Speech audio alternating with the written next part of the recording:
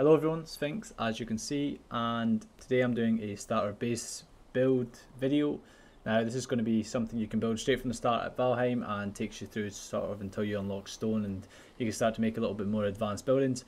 I'm not going to speak too much ahead of it but hopefully you like the video. If you do, hit like and if you're not already subscribed then you know you can hit that button as well.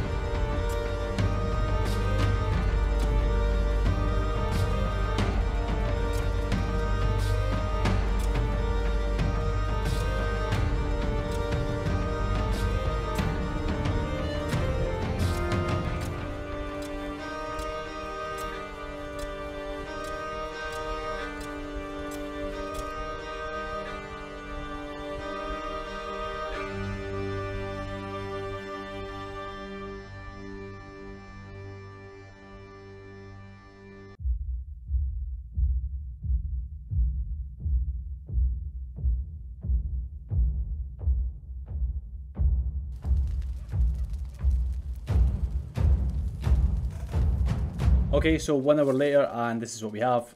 Now, I mainly built this for efficiency on the inside and just sort of playability and things that make your life easier when you first start off the game. So I have a kind of simple house. It looks kind of simple from the outside. On the inside, we have a little raised platform here with a couple of beds. Of course, we've got the cauldron, which you can't unlock straight away in the game, but I would consider it still pretty early. Uh, a couple of campfires here and five cooking stations. You can actually fit six across one fire, but I must have placed the first one too far in. I only have five here, which is completely fine. Also, the space that I've left available can be replaced with a hearth further down the line if you, you know, feel like you want to put a hearth in here instead, which I would recommend. And we have, of course, the open chimney to stop the smoke. Some furniture here. Now, obviously, furniture works towards your comfort level, which increases your rested buff time.